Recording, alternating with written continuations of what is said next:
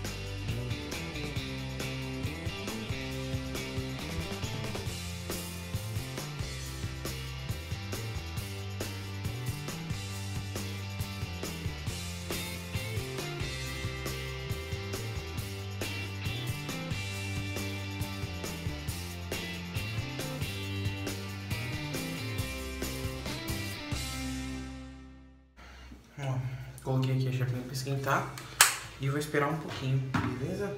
Enquanto isso, eu vou pegar e vou passar algum óleo no cabelo. Vou passar esse aqui, da Aniele Gold.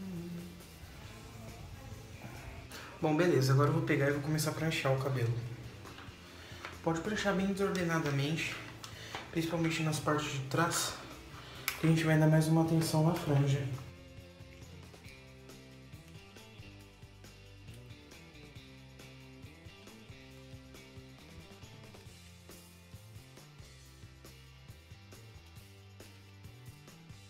Beleza, aqui na franja agora, a gente vai selecionar a franja. A parte que a gente quer dar mais ênfase.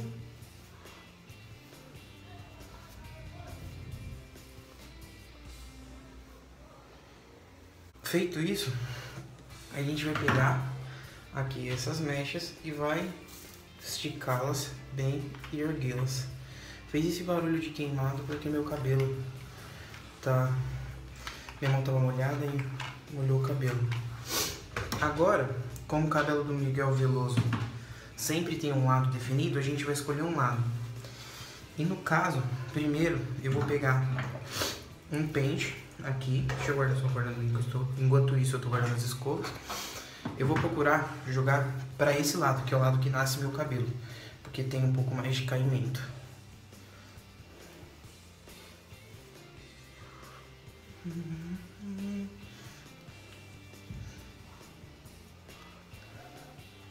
Agora eu vou pegar aqui meu, meu tripé barra tomada, pomada, pomadinha da Charme, já tem resenha saindo aqui, ó.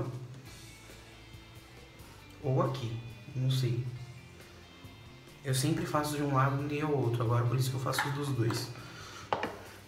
Peguei aqui ó, bem pouco. Vou espalhar na ponta dos dedos e vou passar praticamente em todo o cabelo.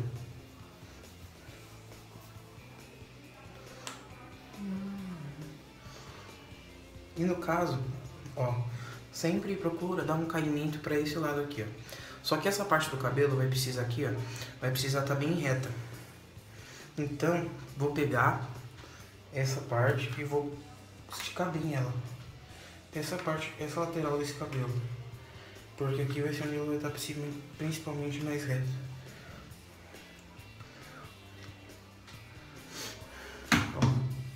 E vou passando. E se você quiser deixar alguma mecha mais solta ou algo do tipo, aí já fica a seu critério.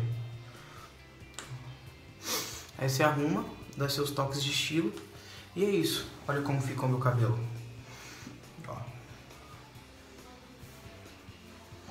Ele ainda tá um, pequeno, um pouco pequeno, porque eu cortei bastante, mas a ideia é essa. Eu espero que vocês tenham gostado.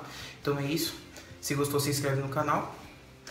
Mega beijos. Se inscreve, dá um like e me segue nas redes sociais, beleza? Falou e abraço. Valeu, falou.